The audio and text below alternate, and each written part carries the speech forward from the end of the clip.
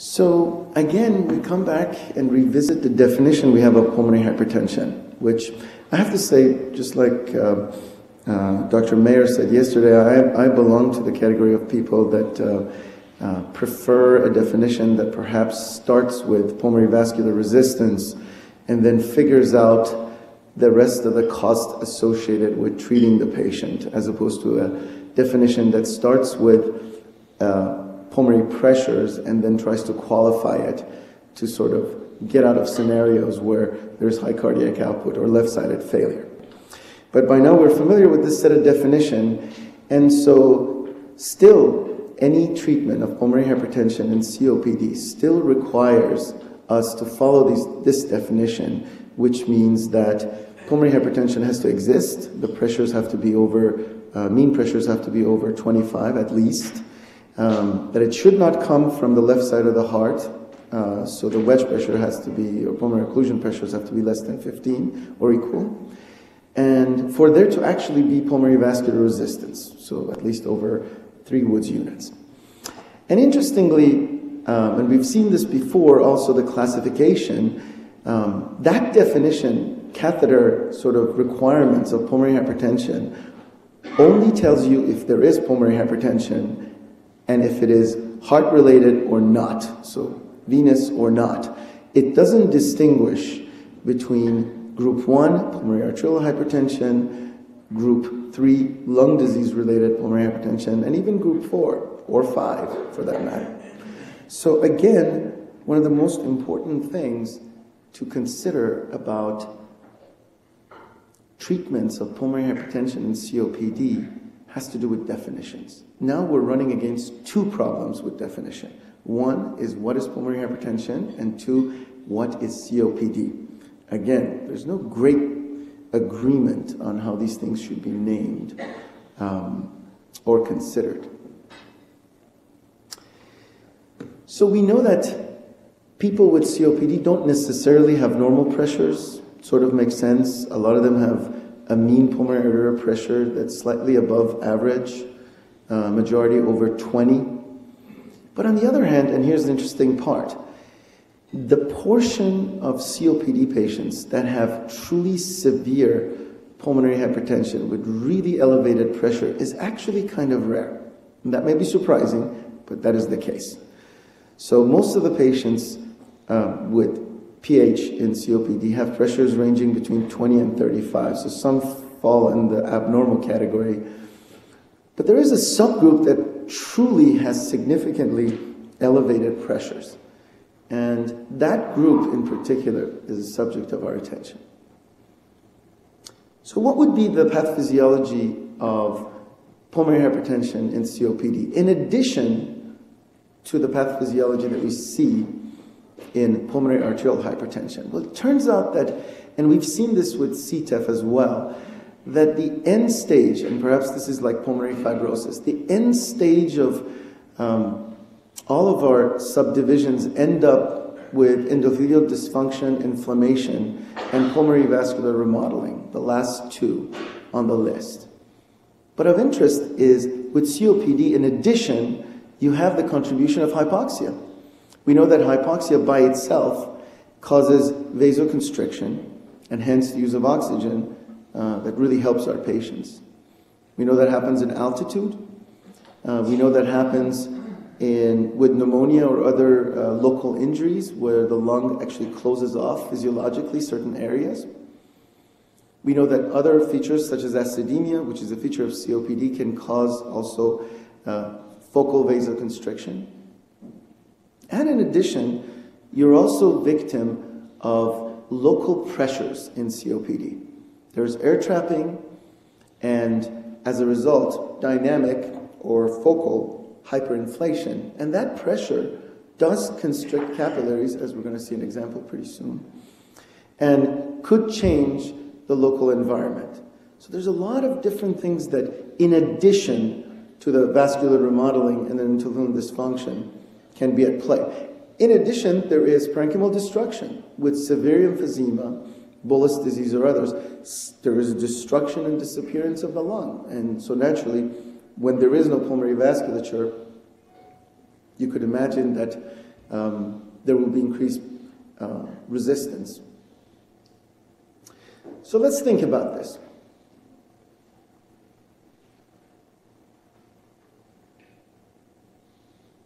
My clicker has stopped working. Can I? Uh, can we go back? Oh, there you go. So basically, um, pulmonary hypertension, even though the word hypertension has to do with pressure, is really a disease of pulmonary vascular resistance and right ventricular dysfunction. And so there's some physiologic changes and some pathophysiologic changes. We talked about physiologic changes of hypoxia, which are actually beneficial. So in hypoxia, there is constriction. Pathophysiologically, it is possible that when people go to altitude or when some area of the lung, perhaps even in CTEPH this may happen, there's hypoxia and constriction, that there is a penumbra effect and extravascular beds get mistakenly recruited to um, get constricted. And vascular remodeling that happens perhaps with it. Destruction, as we discussed, that could happen. But also hyperinflation, as we discussed, and acidemia. So now if you look at this picture, our drugs, well, they, I'm having a delay with the, our drugs are not beneficial. Uh, our drugs are beneficial in the pathophysiologic portion of it because we know that they deal with vascular remodeling. They are ineffective, have no effect with destruction, hyperinflation, and acidemia, and they may be conceivably harmful when it comes to dealing with hypoxia. So here we are in a setup trying to use our drugs in um, COPD, but in sort of two, in one case, we're actually not beneficial. In one case, we are detrimental, and only in one case we're, we're um, um, beneficial. So the cards are not stacked in our favor in the use of our drugs in COPD, partly because the pathophysiology of the disease is more complicated, perhaps, than in pulmonary hypertension. So, just to look at the sort of effect of morphology, um, in this work by, uh, by another Rahaghi, you can see that in lung volume reduction surgery, after the valves were placed, and now um, Nick and uh, Dr. Washko's group are, are looking at pulmonary vasculature and they've developed uh, algorithms to look at the um, uh, vascular bed uh, before and after um, various interventions. So, in this case, endoscopic lung volume reduction. And you can see here that, and if you look at the picture of the vascular bed on top towards the right, that's after procedure, you can see that it's much healthier. And this is this is by no intervention in the lower lobes. This is by reducing the volume of the top part of the lung. So, this is exactly what we actually hoped would happen, which is the areas in the base of the lung that are sort of compressed would actually decompress and start having flow. So, you can imagine that this may result in a better vascular flow of the lung. So, this is sort of one of the illustrations of what can happen in the COPD that is actually outside just the realm of vascular dysfunction and has to do with simple mechanics of the disease. By the way, it is actually maybe in this form of analysis that the future of pulmonary hypertension and COPD resides, because then we can perhaps analyze individual lungs and try to understand them better at a vascular level and predict if they would actually benefit from our treatments. Regardless of the disease, when pulmonary hypertension shows up, mortality gets worse. And that is the case also with um, COPD. So, as you saw in that slide, um, which I don't see anymore, um, uh, if the pulmonary hypertension occurs, um, we can see that the mortality rate increases uh, significantly.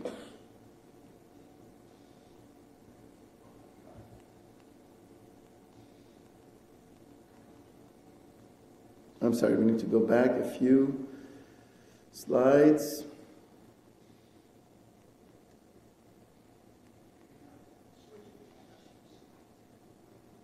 Can I have previous slide, please? This is not working.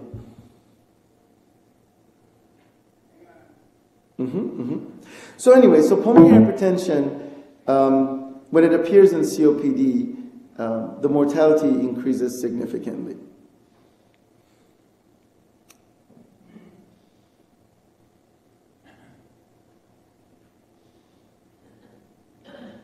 Further back.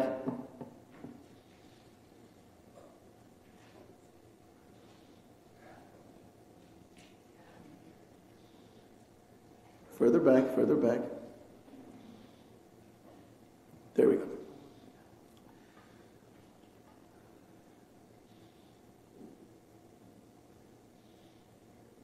Can I have next slide?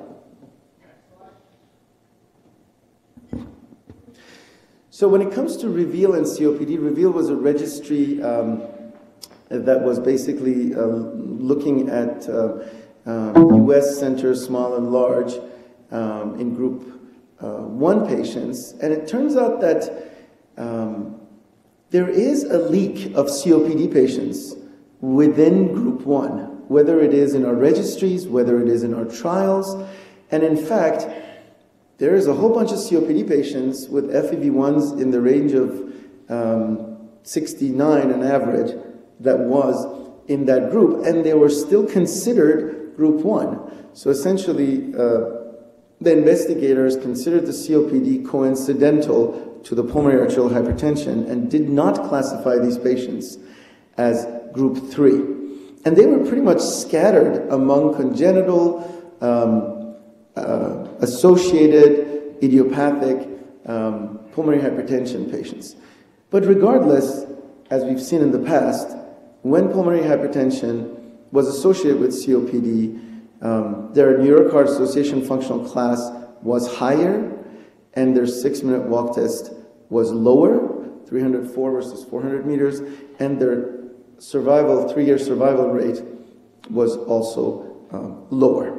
So, for one thing, we know that COPD has existed, and we've seen patients in trials, in fact, with COPD. Next slide.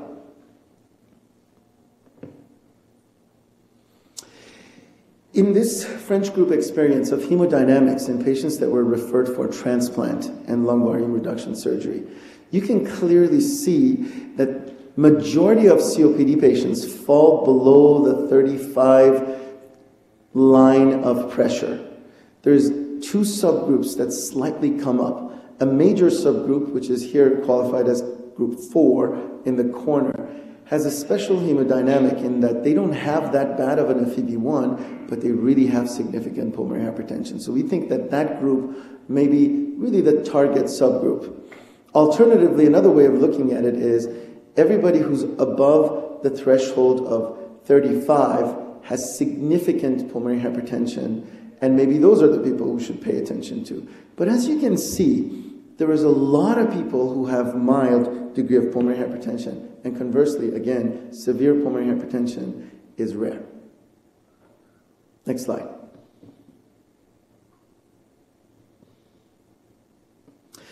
So, what about PH treatments in COPD? Next slide, please.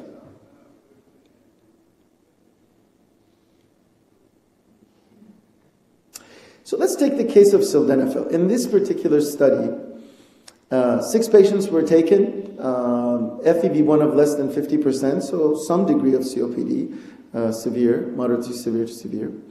Uh, patients with 30 pack year history, pulmonary arterial uh, pressure uh, of over 40, so kind of high pressures.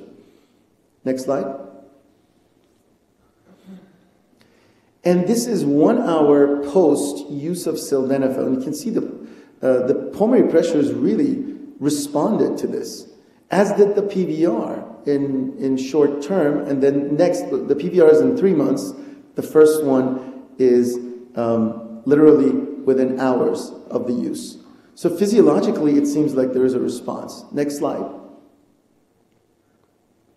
In addition, this response was seen in um, uh, mean pulmonary artery pressure. And if you look at the six minute walk test, At the end of the three months, both of them uh, show significant improvement. So here's one study that sort of hints that there may be some use of PDE5s uh, in COPD. Obviously, this is a small trial. There is more, and I'm not going to go each one of them, but just to tell you, there is, there is at least uh, hope um, that um, uh, our drugs may work. Next slide. How about ERAs? Mixed experience with the endothelin receptor antagonist. Um, bosentan in one study caused deterioration, in other small trial um, improved exercise capacity. Next slide. And in sort of a meta-analysis of data so far, Korean meta-analysis of the data um, of um, pulmonary hypertension drugs in COPD, the result was, next slide, that overall there was no clear signal, and that's the diamond on the bottom. Now there was a signal if the um, PH was confirmed with right heart cath. And we see that a lot because a lot of times what we think is PH actually ends up being left-sided disease, diastolic dysfunction, or fluid overload. Uh, we just don't know it, which is why it's so important, so important to do the right heart cath again and again, and there's no escaping it. And anybody who, who does any trial in PH that thinks they're treating PH and doesn't do right heart cath will be punished. So, okay, so let's think about COPD. How about COPD with mild PH? Well, we just said that the experts slash center directors believe that they can classify patients with PH, group 1, PAH, and still let them have COPD. And if you look at trials, many of them allowed patients with FEV1s between 60 and 80, somewhat obstructive, who had a history of smoking, but nobody actually gave them a diagnosis of COPD. So we basically implicitly agreed that patients have mild COPD and they could still be called group 1. And so these people were part of the trials. Now, what we haven't done is go back and see if those were the people that brought us down, which is possible. But nevertheless, they were part of the trials.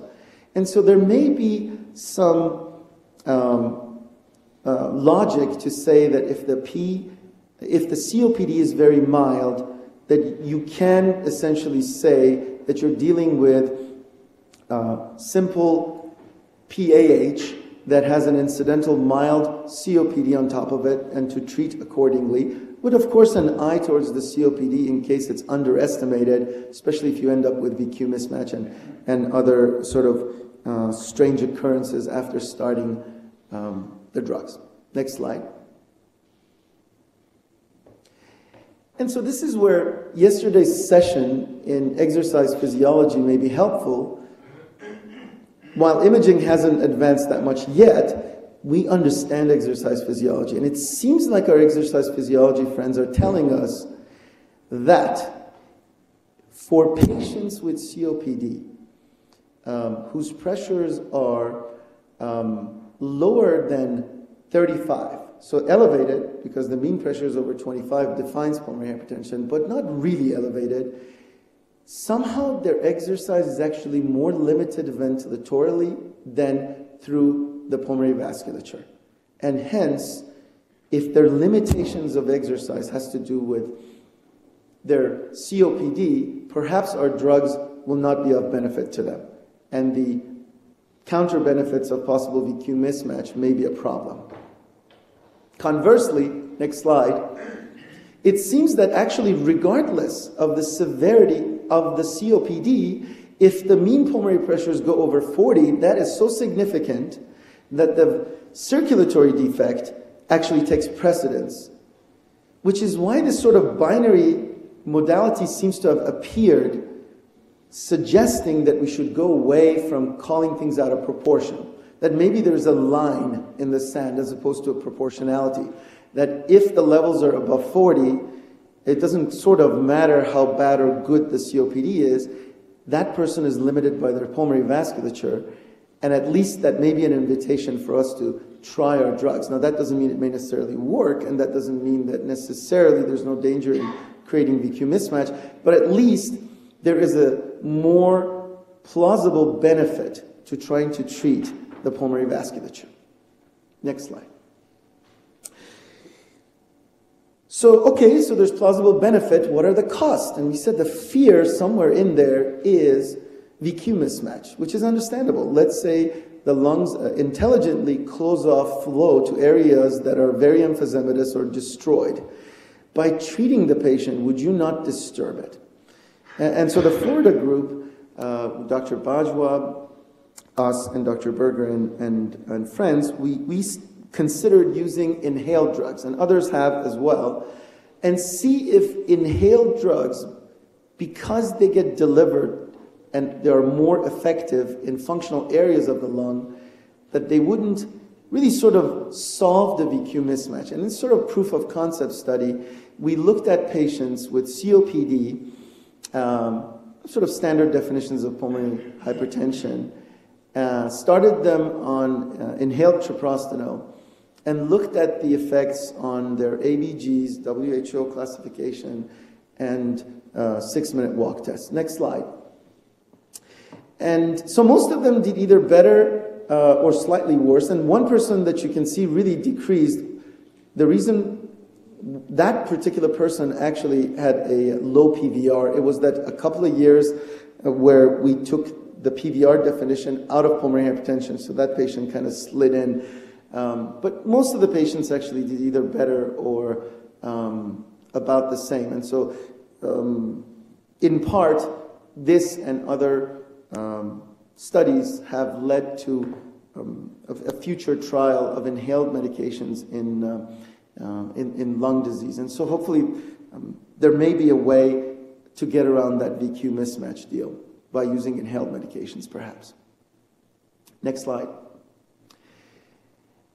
And you know, at the end of the day, I see this beautiful sort of distinctions of these two physiognomic types of COPD, pink puffers and blue bloaters. And to this day, nobody has distinguished these.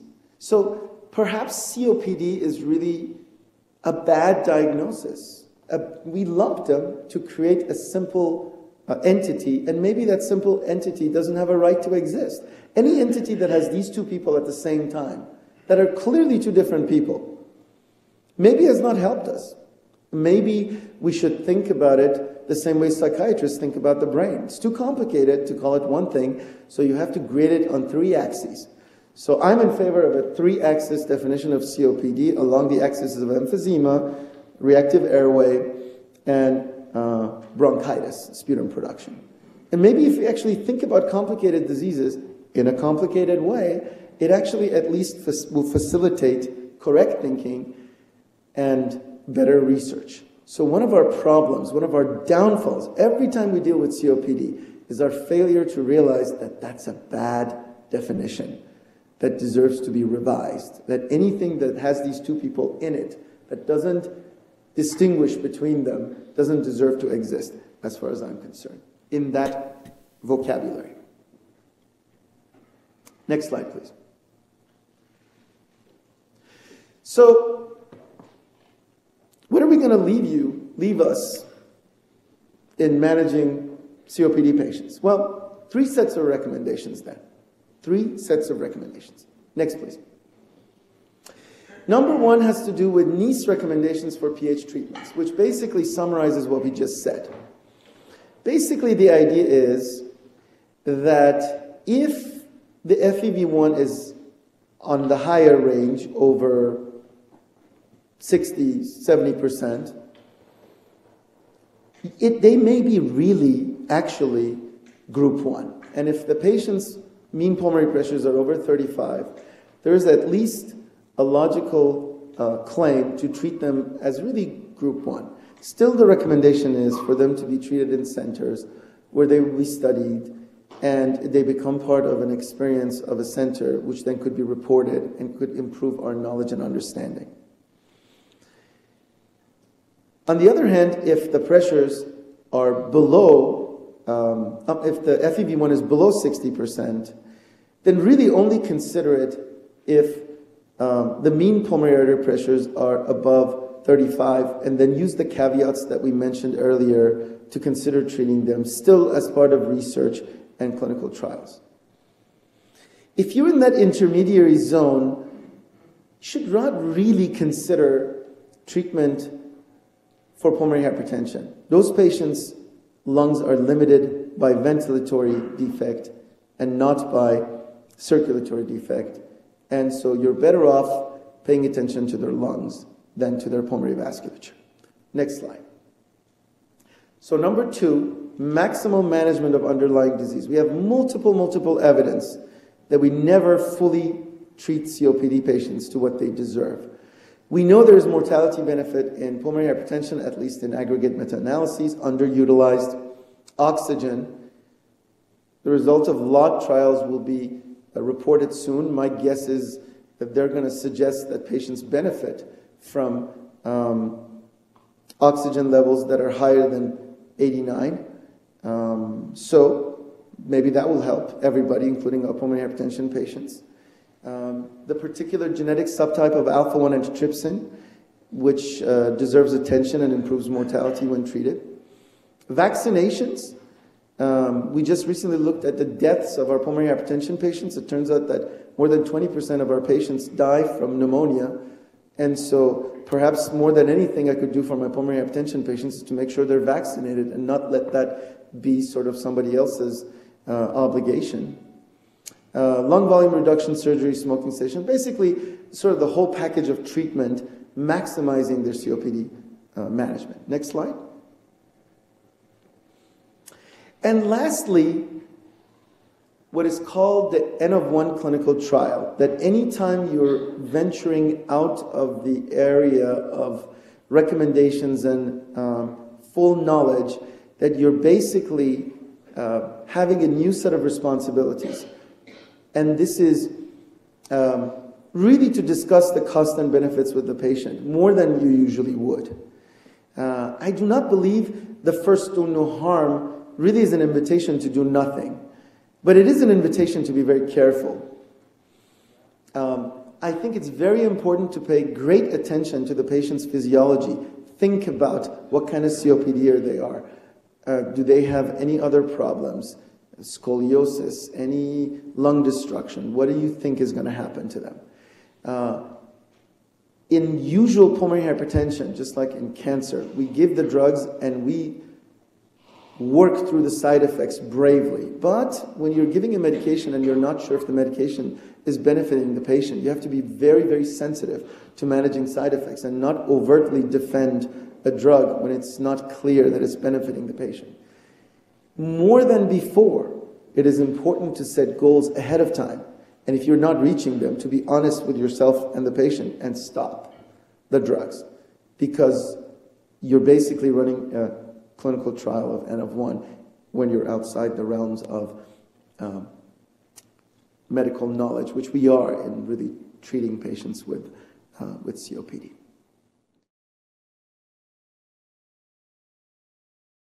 Um, so my task is to talk about the treatment of pulmonary hypertension in interstitial lung disease. Let's see if I have any better luck with this. So you've seen this many times before in terms of our classification of uh, pulmonary hypertension, and I'm going to focus mostly on group 3 in interstitial lung disease, although other conditions such as sarcoidosis are included under group 5, but I'm going to focus mostly on other forms of interstitial lung disease. And much like IPAH is our prototype disease for group 1, so is IPF our prototype disease for group 3, at least with regards to the ILDs. Next slide, please. So, if you look at the prevalence of pulmonary hypertension in IPF, it may work. It may work. I'll try it next time. Okay. Um, it really varies. It depends when you look uh, for it. It might be as low as around 10, 15%, and as high as 85%. So if you look for it early, it's more in the range of 10 to 15. If you look for it late, at the time that the patients are receiving a lung transplant, it's closer to 85%. So it tends to be progressive over time. This is um, data from our own program looking at the prevalence and the distribution of PA pressures in patients with IPF as well as NSIP. There's not much literature on NSIP, but really the, the difference is not much. It seems like any form of interstitial lung disease, if patients have had it long enough and if they advance long enough, they're going to, at some point, develop pulmonary hypertension. Now, the PH of IPF it tends to be mild, much like COPD. If you look at all those patients with a mean PH pressure greater than 25, uh, greater than 25 millimeters of mercury, about 50% of them reside in the range of 25 to 30, so very mild. And yet, when you look at the impact of any, of any PH in patients with IPF, you can see a stark and marked difference in outcomes and survival, as shown in this graph over here. Now, why is that? And this was an interesting question that we tried to address um, in terms of what happens. Why, why does PH impact mortality like that? And this was a study that we did where we looked at baseline right heart cath data at the time of transplant evaluation and then looked at the cath data again in the OR when they were getting transplanted, but before any incisions were made. So everyone gets swanned and draped and everything. And we extracted the data and for the same cohort, there were about 40 patients. 38% of them had PH at baseline. And by the time they were in the OR under general anesthesia, where arguably you'd expect the PH pressures to be lower, 87% of them had pulmonary hypertension. So it tends to be progressive, and in some cases, it's actually parabolic in terms of its development. In some of these cases, these lines over here, the right heart caths were one month apart. I have to admit, uh, when we published this paper, I shopped it around quite a bit. I think we sent it to about five different journals before it finally got accepted. So persistence is key. But one of the big um, criticisms that the, uh, that the reviewers had was that we were taking right heart cath data from the cath lab and comparing that to the OR. So what we did, and this I think um, uh, piggybacks onto Franck's talk about COPD, we did the same analysis in our COPD patients who require transplant. And what we showed is a marked similarity between the PA pressures when the, when the COPD patients were cathed and when they were transplanted. Generally, the lag for COPD tends to be greater between the time of evaluation and transplant, but you could almost draw a straight line across. Their PA pressures didn't tend to rise as much as we see here over time. And that's, I think, what got the paper in eventually when we produced that data.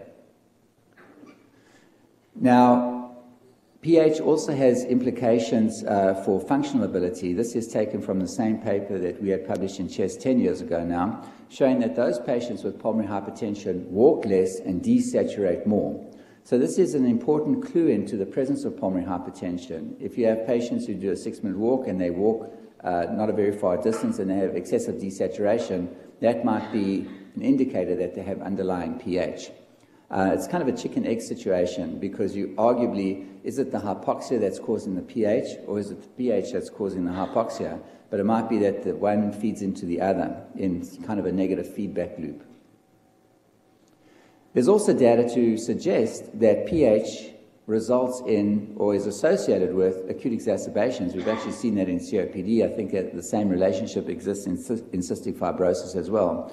So all of these negative associations with PH kind of raises the ante in terms of should we be addressing this, should we be treating PH?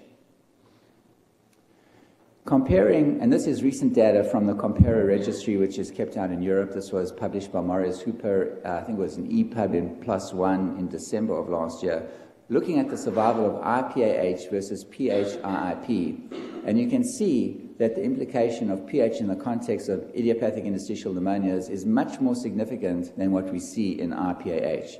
So, certainly well worth addressing to see if we can impact this. What about the pathogenesis? And it's kind of complex and much like it is in COPD. We used to think that it was, we used to think very simplistically, the more fibrosis, the more interstitial lung disease you had, that there would be a very strong relationship between the degree of restriction and fibrosis and pulmonary hypertension. And I'll show you data that it, uh, shows that that's not the case. This is an analysis that, that we did publish in CHEST uh, nine years ago, I guess, where we looked at lung function by deciles, and you can see greater than 70%, 60 to 69%, etc., all the way down. And what you would expect with that hypothesis, if it was all related to um, interstitial lung disease and fibrosis, was a greater prevalence and higher PA pressures as you went down that decile range. But what you can see on the right hand side is that the mean PA pressures were really not dissimilar amongst all the deciles, and the uh, percentage of patients was also not dissimilar uh, if you do an analysis. But if you look at those patients, what's notable, if you look at those patients whose FVCs were greater than 70% and compare them to those who are less than 40%, the numbers there are quite different 29, 21, and 62% versus 36%. So this is a paradox. How do you explain this? That the worse, the, the less restriction, the more PH and the more severe. And the only way I can explain this is that those patients with pulmonary hypertension in the context of early ILD come to clinical attention earlier, hence the higher prevalence and uh, numbers seen in the greater 70%. And the less than 40% patients is a survival effect because those patients who develop PH don't survive to, uh, to d- develop severe enough restriction, less than 40%. So they're kind of um, getting um, lost along the way as they develop more restriction in the context of, this, of their pulmonary hypertension.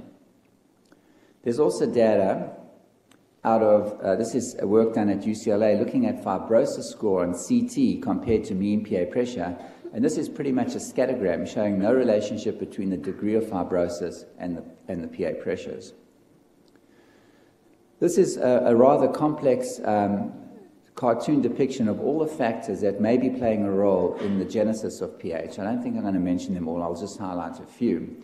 Uh, comorbidities, let's never forget about comorbidities and the role of things like sleep apnea, heart failure, preserved ejection fraction. Certainly, the fibrosis does play a role with some destruction of the vascular bed, VQ mismatching we spoke about. Um, something I'd like to focus on and mention especially is PVOD, because we know from the PAH world that if patients have PVOD, that's basically a contraindication to PAH medication because you can make them worse.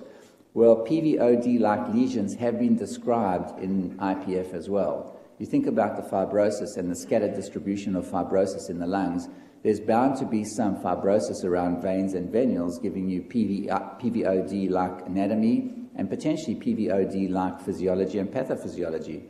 So that's a cautionary note to treating patients with ILD with our vasoactive agents. Not to say we shouldn't, and I'll get to that as I get towards the end of the talk, but if patients get worse, think about PVOD as a potential reason why. So, when should we suspect pulmonary hypertension in interstitial lung disease? I think there are many steps along the way that can raise your level of suspicion. Certainly, history, shortness of breath, that appears disproportionate to the patient's underlying parenchymal lung disease. Always listen for that loud P2. If they have developed signs of right heart failure, it's usually very late in the disease course, and in my experience, IPF patients will usually die before they develop flagrant right heart failure. It's very rare to see that. Um, the lower the DL, the more likely it is that they have a component of pulmonary hypertension. And at least from the scleroderma literature, you can look at the FVC to DL ratio as an indicator of increased vascular involvement. The six minute walk I spoke about already. Uh, look at desaturation, distance, and also the pulse rate recovery, which is something that has been shown to correlate with pulmonary hypertension and to, to perhaps be the best predictor of outcomes in patients with IPF in terms of the six minute walk. It's an easy calculation. You look at the pulse rate at the end of the study, or the six minute walk, say it's 20, 120 rather. You wait one minute into recovery and it's 100, then your pulse rate recovery is 20. The lower the pulse rate recovery, the worse the prognosis, and the more likely it is that the patient has pulmonary hypertension. You can use our, our, standard biomarkers to get an idea if there's pulmonary hypertension and certainly heart failure as well with the NT-proBNP. And echo is a very good screening tool, but as Franck alluded to, it's not a diagnostic test, and if you want to make the diagnosis, you always need a right heart cath. Um, this is a CT of a patient with IPF, and whenever we look at a CT, we not, not only look at the parenchyma, but we also look at the mediastinum. And what you'll notice over here is that the PA is rather large, and you can compare this to the diameter of the aorta, and if it's greater than one, then this might indicate underlying pulmonary hypertension.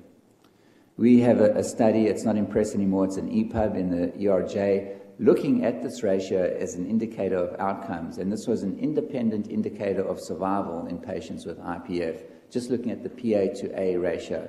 So, something we can all do in our standard HRCTs that we get in patients with ILD. Now, echo tends to overestimate, but it can also even underestimate what the true PA pressures are. So, in, in, many cases, it's inaccurate. It only gives you the PA systolic pressure, doesn't give you the mean PA pressure, and none of the other indices. So, just to underscore the point again that you always need a right heart cath. So let's summarize what we know. We know that PH commonly complicates the course of interstitial lung disease. It's associated with worse survival, reduced functional status, possibly acute exacerbations.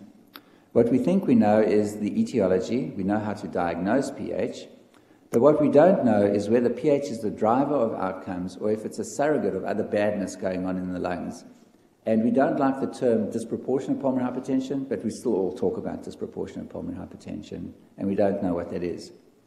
What we don't know, but shouldn't be too scared to ask, is should we treat PH? If we do, does it affect patients' functional status?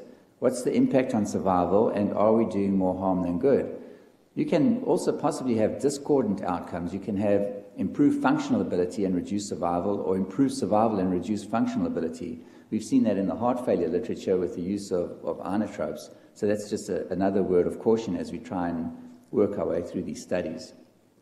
So let's move on to treatment, which um, is really the focus of, of what I've been tasked with today. Um, the low hanging fruit, treat the underlying condition. Not to say that the antifibrotics or any other medications for interstitial lung disease are going to affect the PH, um, but nonetheless, we should treat the underlying condition anyway.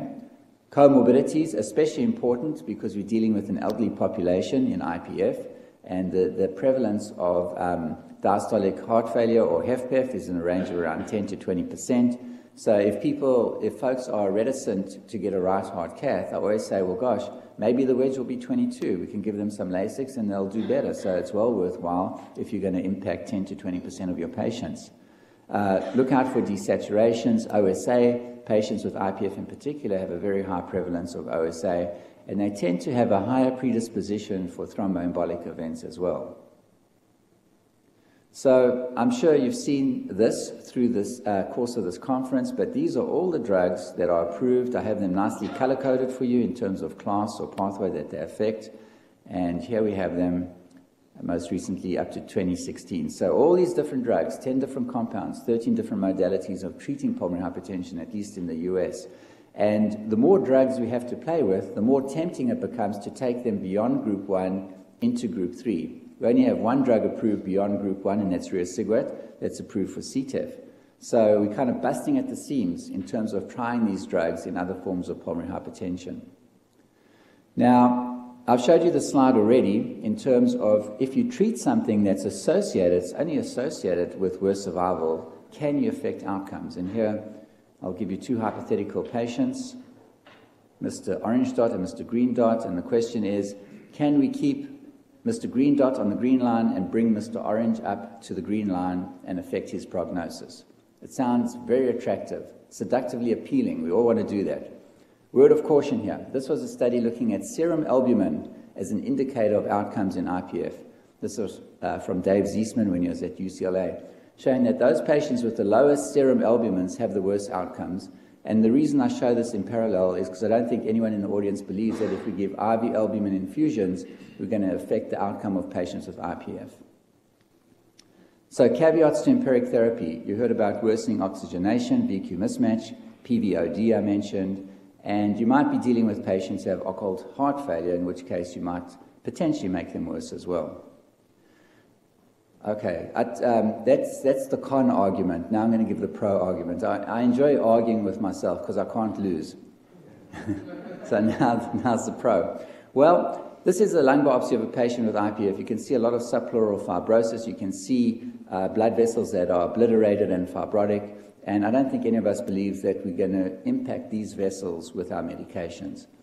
But if you look at areas that are relatively, relatively well preserved, which, is, which characterizes IPF, there's also vasculopathic changes there. And the parallel is to CTEPH, where we don't treat the mechanical obstruction or the strictures or the bands, but we treat the small vessel vasculopathy that tends to occur in other areas of the quote unquote normal lung these patients will develop a small vessel vasculopathy. So, can we impact these vessels rather than those obliterated fibrotic vessels? The STEP IPF was a study that I think provides somewhat of a proof of concept. For those of you who might recall, STEP IPF was a study done by the NIH IPF network in um, patients with IPF whose DLCOs were less than 35% of predicted. So enriched for patients who probably had pulmonary hypertension, or many cases had pulmonary hypertension. The primary endpoint was a 20% increase in the six minute walk distance, and on this basis, the study failed 10% in the treatment arm versus 7% in the placebo arm, and so this was a negative study by its primary endpoint. However, if you look at a bunch of the secondary endpoints, there were a bunch of things that were positive quality of life, DLCO, oxygenation were all positive, suggesting that there was some kind of treatment effect. And even mortality came tantalizingly close to being statistically significant, albeit the numbers were, were quite small. A subsequent subgroup analysis, which I'm not going to show today, looked at those patients from STEP IPF who had any evidence on echo of RV dysfunction. And when you look at that very small subgroup, there was indeed a benefit from treating with sildenafil with a difference in the walk distance of around 90 or 100 meters. And as we kind of grapple with this concept of who to treat or who to study, it might be that when supervening RV dysfunction comes along, that's when that, that patient would be uh, a suitable t- uh, patient for targeted therapy. We know that RV dysfunction drives outcomes in PAH, and the same might hold true if RV dysfunction supervenes in ILD and in COPD for that matter as well. Um, this is a study of riociguat, was done by Marius Hoeper in Europe. This was also a study that suggested benefit. Here's some of the results here. Hemodynamic improvement, six-minute walk test, um, also improved by around 25 meters. This was a short-term study over around 12 weeks. Um, this was a study done by the Saggar brothers at UCLA looking at treprostinil, parenteral treprostinil in those patients with severe PH, as per our de- definition, greater than 35 millimeters of mercury. And this also appeared to be a positive study. I'll show you some of the salient results. Echo parameters improved, um, six minute walk improved by numbers. You can see the number of patients who improved by more than 57 meters, and there were very few patients who had any kind of decline. The point being that if you choose your patients correctly, maybe we can get a positive study. This was uh, a prospective study, but it was an open label study. A more sobering study was this uh, study bosentan in PH associated with fibrotic interstitial pneumonias. This was from Athol Wells's group and a bunch of, it was actually a multi center study. This was published in the Blue Journal, and I like the study because it was a totally negative study. Not that I like negative studies, I, I like the fact that the Blue Journal chose to publish a negative study, which I think is a good thing. They chose a hemodynamic endpoint in terms of the PVR, and there was no difference. You can see that the graphs look replicate.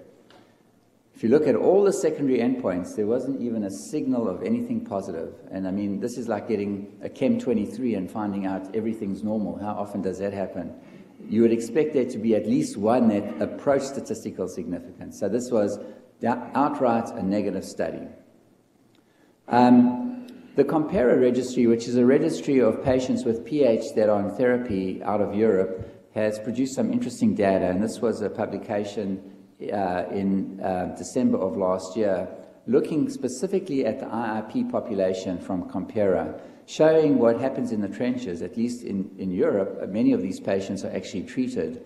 Many of these patients, surprisingly, had more severe pulmonary hypertension. Most of them, I believe, had uh, mean PA pressures greater than 35 millimeters of mercury.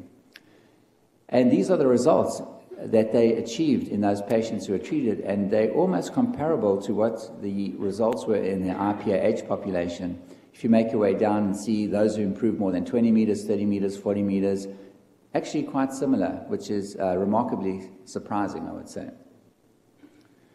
Also, from the same study, they looked at those patients who had a treatment response, which they def- defined as a change in the distance between uh, the start of therapy and the next visit of around 20 meters or improvement in their functional class. And if patients responded to therapy, there did appear to be a survival benefit as well.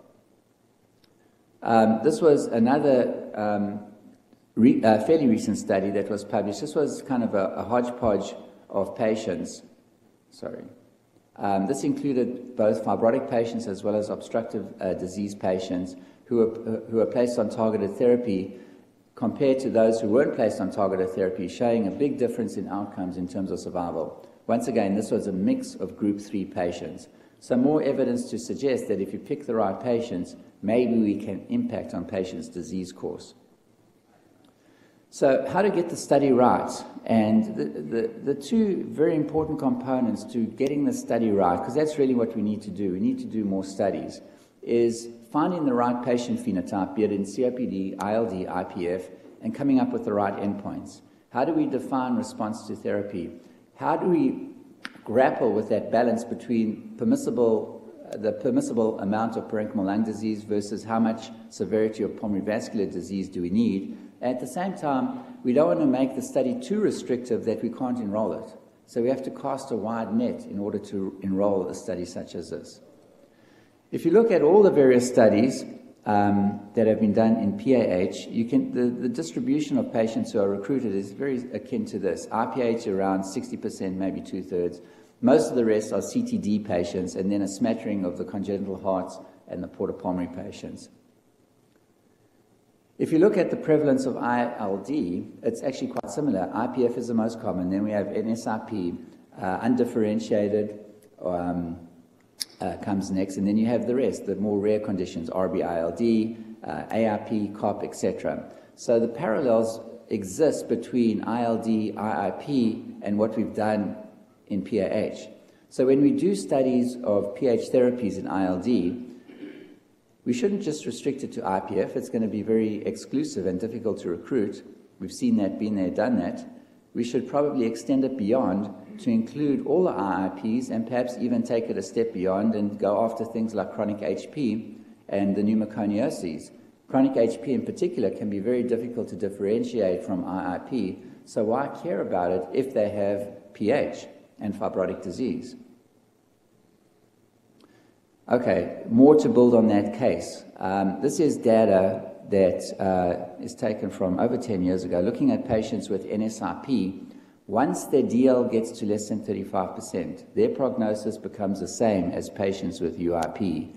Once the DL gets to less than 35%, high likelihood that they have PH.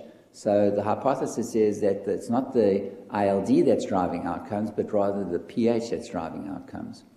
And then this is a very similar study in patients with um, unclassifiable ILD. And if these studies were 10 years apart, but if you look at the three year survival between these two studies, unclassifiable, NSIP, UIP, they're remarkably, uh, remarkably similar. So these diseases will behave the same at some point in their disease course, so why not study them all together with our PH therapies? This is a concept cartoon looking at this in terms of progression of the interstitial lung disease? And is there some kind of an inflection point where the pulmonary hypertension becomes a driver of outcomes and functional ability? This is data uh, points from our own patient population looking at the mean PA pressure versus the FVC, 178 patients. 32% of them in this particular group hap- happen to have PH.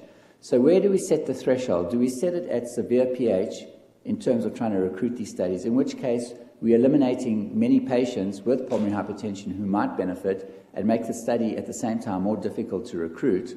And then where do we set the FVC bar? Do we set it at 50%? And then we have even fewer patients who we can recruit into the study. Or do we take it down to 25? The advantage of that is maybe we're going to have some patients who might not respond as well, but we'll have more patients in the study and potentially more patients that we can apply the therapy to if we show that it works. This is my attempt to, to get fancy with this. This is uh, the concept of a rolling threshold based on individual patients and what their FVC and, and mean PA pressure are. So I call this Steve's crazy rule of 100 uh, 75 plus 25 is 100. So if their FVC is 75%, they need to have a, a, a mean PA pressure of at least 25. If the FVC is 50, more restrictive, then they need to have a mean PA pressure of at least 50. So, a very simple concept, and it's not going to pan out like this, trust me, but just to the idea of maybe we need to think more innovatively how we approach these patients. So choosing the best endpoint, we think we have to think about what PH affects because choosing the patient population, the right phenotypes, the first step, getting the endpoints right is equally important. So what does PH affect in the context of ILD? Survival, we know. Functional status, we know. At least there's an association. Functional class, quality of life, certainly. Possibly AEs.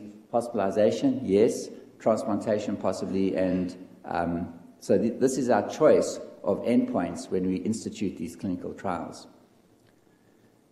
We are doing one such study, just to put a plug in for the RISE RP study. This is a study of riociguat in any form of interstitial pneumonia. So, going with my concept of keeping it broad, the mean PA pressure criteria is greater than 25. We are pretty liberal with our FVC. We say that anyone with an FVC greater than 45 can get into the study, and there are a bunch of usual secondary criteria um, and exclusionary criteria as well. But we try to keep it as broad as possible and I'll give you some information on how the study is going. It's going actually very well. Hopefully, we're going to finish recruitment in the next couple of months. It's going to be probably about 125 patients in the study. Um, the primary endpoint is going to be the six minute walk. This is a phase two study. It's going to hopefully inform a phase three program. And what we focused on a lot is what is going to be our other endpoint, which might become the primary if we move on to a phase three study. So, our other endpoint is shown here. This is a composite endpoint of clinical worsening, and what we chose as the four composites were a change in the walk distance of 15% on the downside, uh, hospitalization for cardiopulmonary worsening, death, and then the fourth component is change in New York Heart Association functional class. So hopefully this uh, composite endpoint will perform well in this phase two study. We're presenting data on the study at ATS. It's going to be the baseline characteristics of the first 100 patients enrolled but I think this is probably going to be the most robust study that has been done, certainly in interstitial lung disease, and I, I feel cautiously optimistic that we're going to learn a lot from this study. It's actually this. Uh, I'm fortunate enough to be the, the, the, principal investigator for the study. It's kind of blossomed, and we have many different countries and centers around the world involved now. So be on the lookout for RISE RP, because hopefully that's going to be the first stepping stone on our way to finding effective therapies to treat the PH of the idiopathic interstitial pneumonias. So I'll stop there with six seconds to spare. That's all I have. Thank you for your attention.